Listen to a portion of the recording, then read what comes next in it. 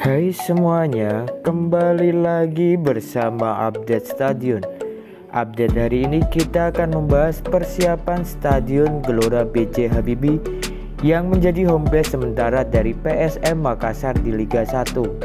Berbagai persiapan telah dilakukan pengelola stadion untuk menyiapkan laga lanjutan Liga 1 musim 2022-2023 melawan klub Rans Nusantara.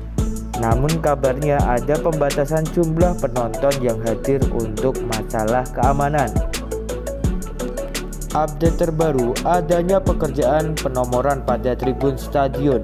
Penomoran itu dilakukan secara manual dengan menggunakan cat berwarna putih yang urut ditulis angka seperti halnya nomor kursi. Selain itu, berbagai aspek di dalam stadion juga dicek dan disiapkan secara maksimal, seperti perawatan rumput, kualitas penerangan, bench pemain hingga fasilitas di dalam stadion. Selain itu, adanya perbaikan akses jalan berupa pelebaran jalan menuju Stadion BJ Habibie.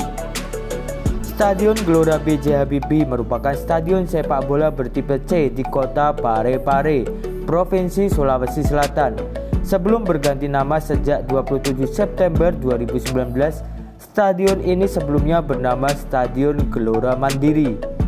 Home base dari klub Persipare Parepare dan PSM Makassar ini memiliki kapasitas sekitar 15.000 hingga 20.000 penonton karena tidak memiliki single seat semuanya. Walaupun terbilang cukup kecil namun memiliki riwayat dan sejarah yang cukup panjang dalam persepak bolaan di Sulawesi Selatan maupun di kancah nasional.